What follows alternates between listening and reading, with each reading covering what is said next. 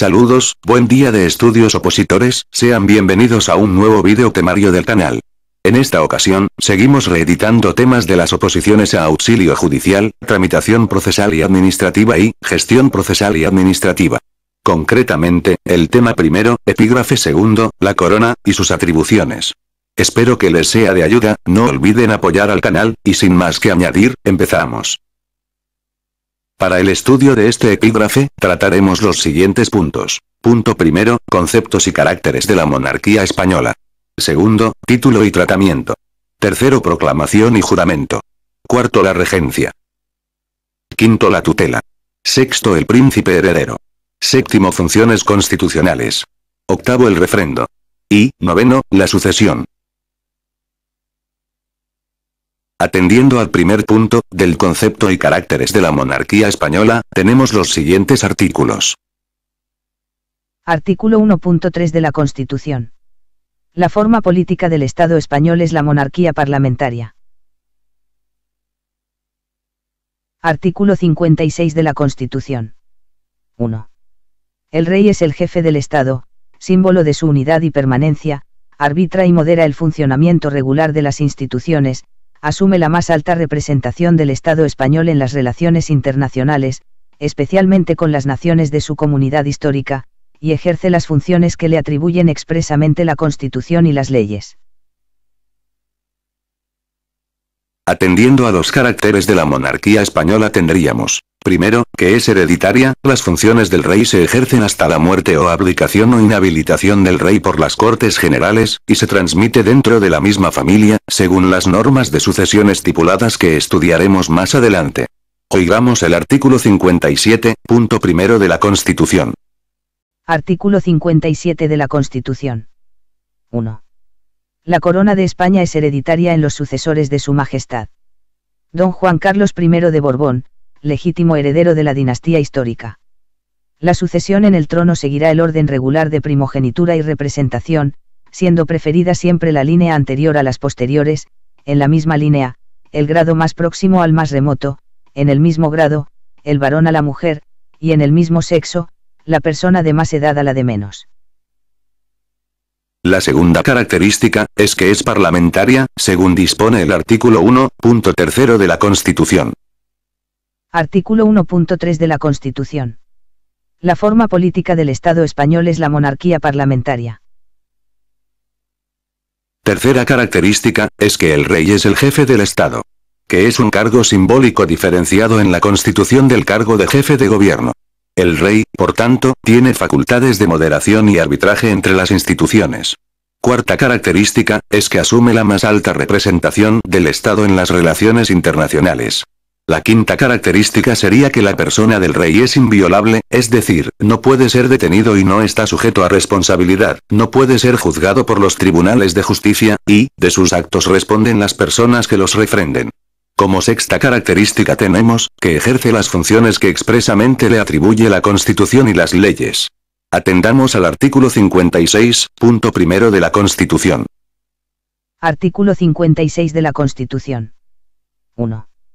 El rey es el jefe del Estado, símbolo de su unidad y permanencia, arbitra y modera el funcionamiento regular de las instituciones, asume la más alta representación del Estado español en las relaciones internacionales, especialmente con las naciones de su comunidad histórica, y ejerce las funciones que le atribuyen expresamente la Constitución y las leyes.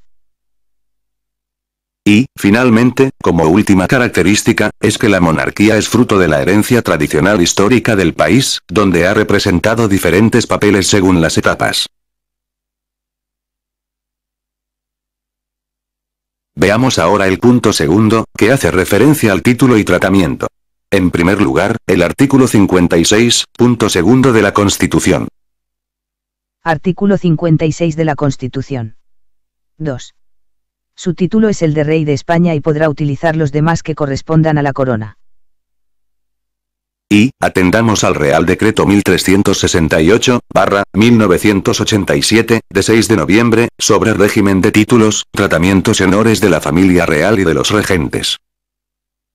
Artículo 1 del Real Decreto 1368-1987. 1. El titular de la corona se denominará rey o reina de España y podrá utilizar los demás títulos que correspondan a la corona, así como las otras dignidades nobiliarias que pertenezcan a la Casa Real. Recibirá el tratamiento de majestad. 2. La consorte del rey de España, mientras lo sea o permanezca viuda, recibirá la denominación de reina y el tratamiento de majestad, así como los honores correspondientes a su dignidad que se establezcan en el ordenamiento jurídico. 3. Al consorte de la reina de España, mientras lo sea o permanezca viudo, corresponderá la dignidad de príncipe. Recibirá el tratamiento de Alteza Real y los honores correspondientes a su dignidad que se establezcan en el ordenamiento jurídico. Tercer punto, proclamación y juramento, atendemos al artículo 61 de la Constitución. Artículo 61 de la Constitución. 1. El rey, al ser proclamado ante las Cortes Generales, prestará juramento de desempeñar fielmente sus funciones, guardar y hacer guardar la Constitución y las leyes y respetar los derechos de los ciudadanos y de las comunidades autónomas. 2.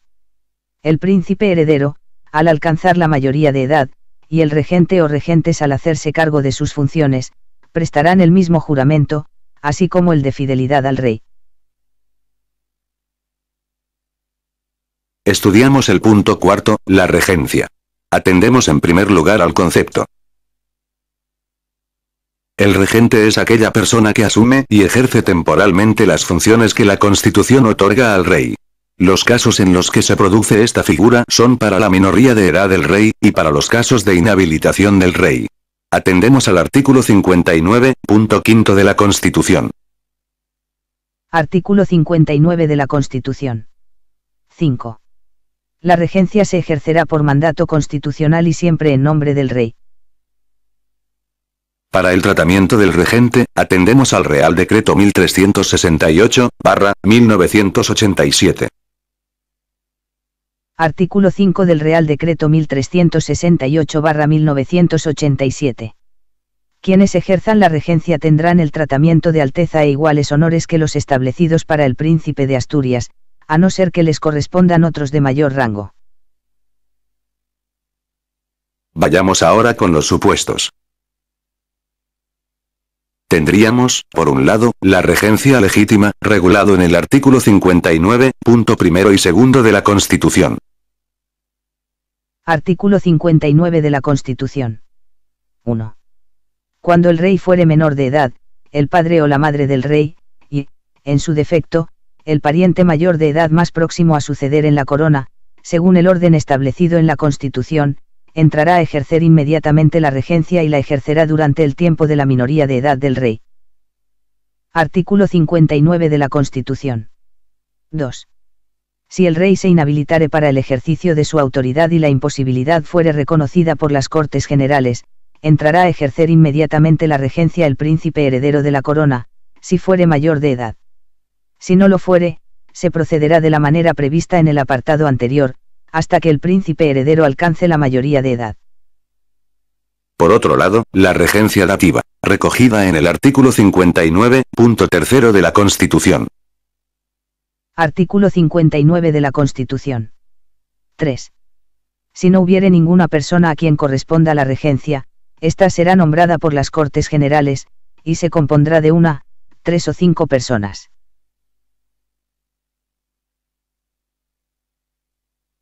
Por último, los requisitos para ser regente son.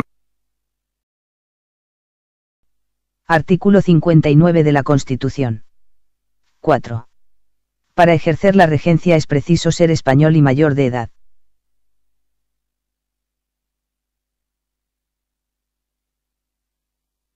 Vayamos con el punto quinto.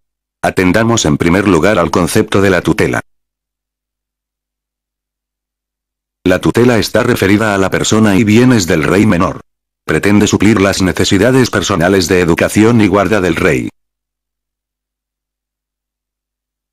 Veamos el nombramiento, la compatibilidad del cargo de tutor con otros cargos, y, los requisitos para ser tutor. Oigamos el artículo 60 de la Constitución. Artículo 60 de la Constitución. 1. Será tutor del rey menor la persona que en su testamento hubiese nombrado el rey difunto, siempre que sea mayor de edad y español de nacimiento, si no lo hubiese nombrado, será tutor el padre o la madre mientras permanezcan viudos. En su defecto, lo nombrarán las Cortes Generales, pero no podrán acumularse los cargos de regente y de tutor sino en el padre, madre o ascendientes directos del rey. 2. El ejercicio de la tutela es también incompatible con el de todo cargo o representación política. Tendríamos tres figuras. Tutela testamentaria, que la nombra el rey difunto en testamento. Tutela legítima, para el caso de que no haya testamentaria, esta figura la representaría el padre o madre mientras permanezcan viudos y, tutela dativa, en defecto de las anteriores, que lo nombra las Cortes Generales. Estudiemos ahora la figura del príncipe heredero. Que es el sucesor de la corona de España. Atendamos a los siguientes artículos. Artículo 57 de la Constitución. 2. El príncipe heredero, desde su nacimiento o desde que se produzca el hecho que origine el llamamiento, tendrá la dignidad de príncipe de Asturias y los demás títulos vinculados tradicionalmente al sucesor de la corona de España. Artículo 61 de la Constitución. 1.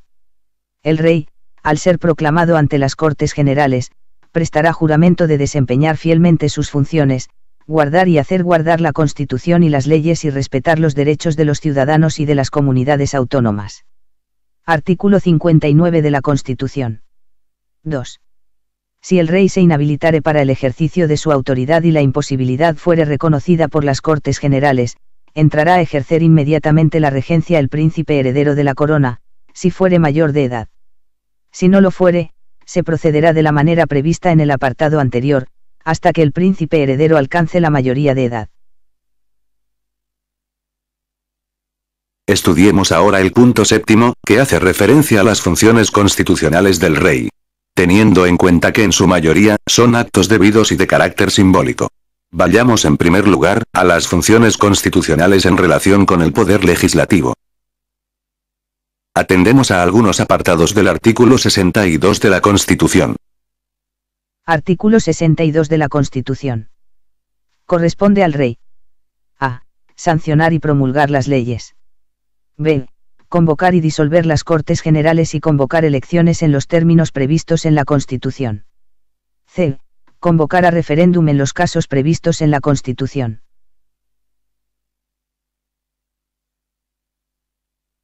Veamos ahora las funciones del rey en relación con el poder ejecutivo.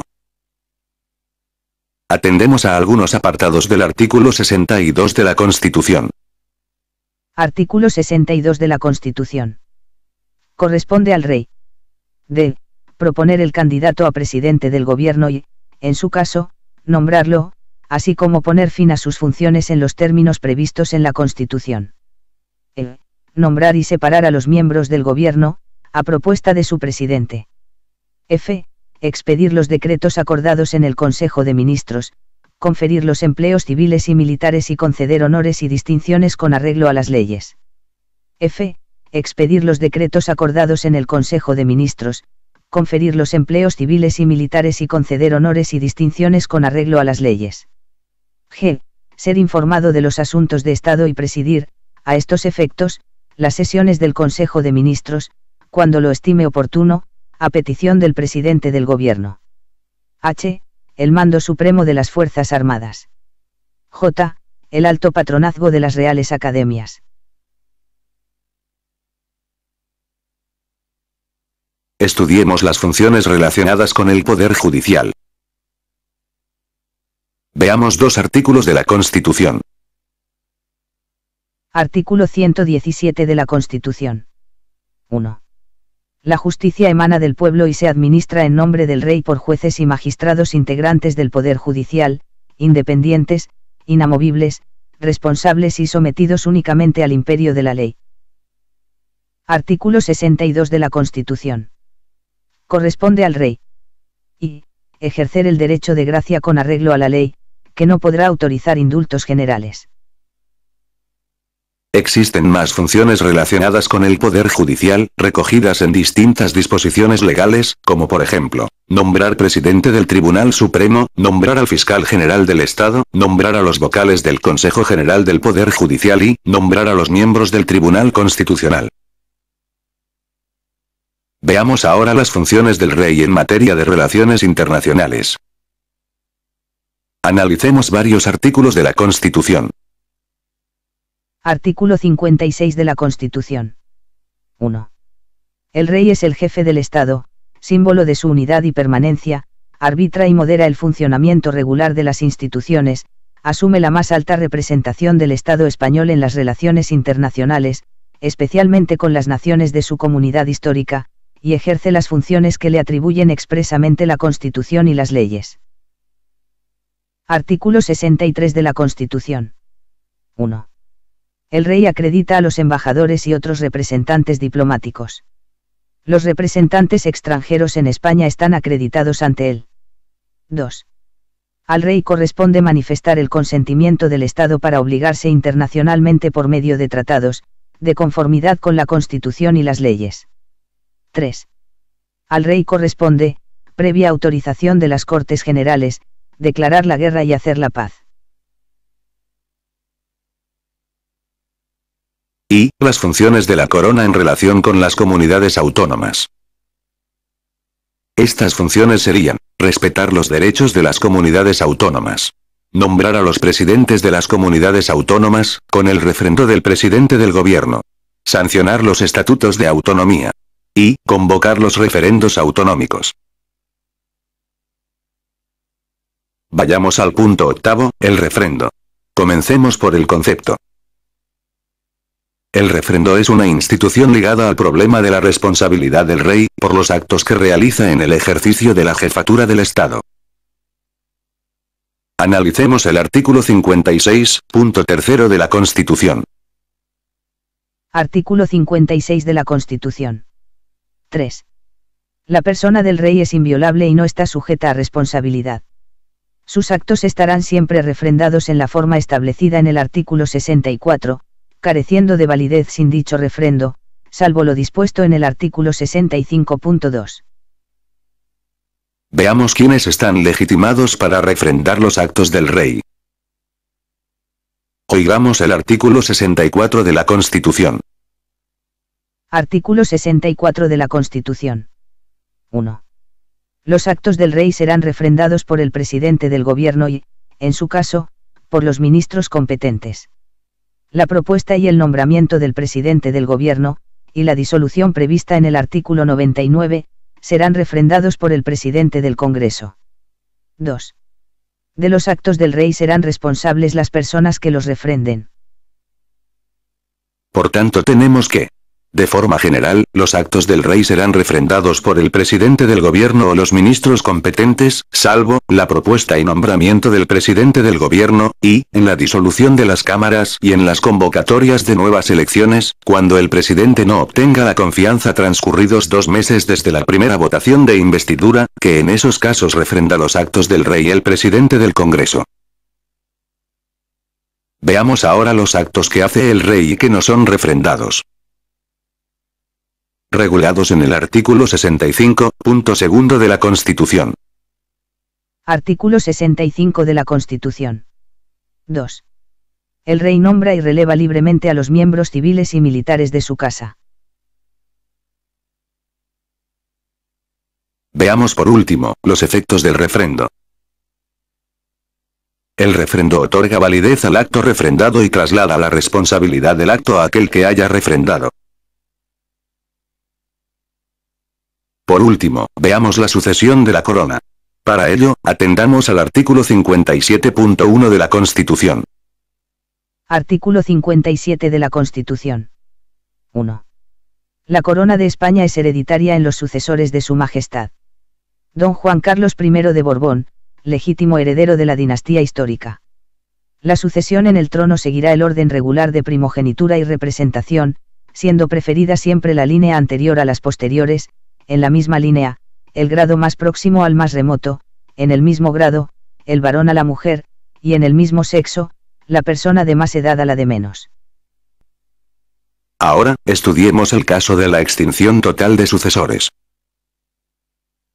Para ello, escuchemos el artículo 57.3 de la Constitución.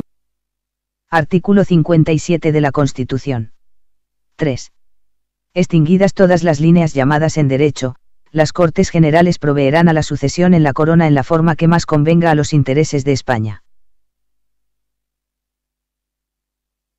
Vayamos con la exclusión de la sucesión.